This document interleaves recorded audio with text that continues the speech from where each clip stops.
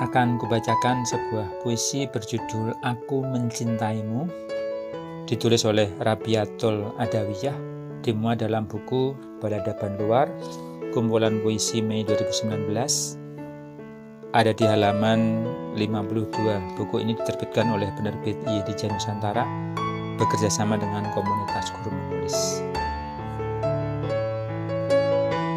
Aku mencintaimu oleh Rabiatul Adawiyah.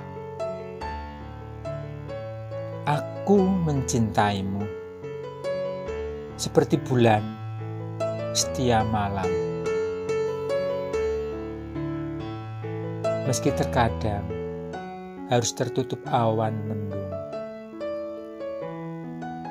Aku mencintaimu seperti matahari setia pada siang meski kadang harus tersapu hujan.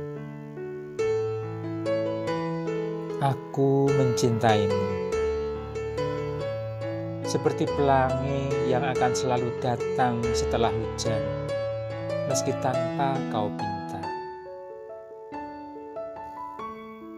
Aku mencintaimu seperti angin yang tak dapat kau lihat, namun hembusannya dapat menyejukkan seluruh tubuhmu.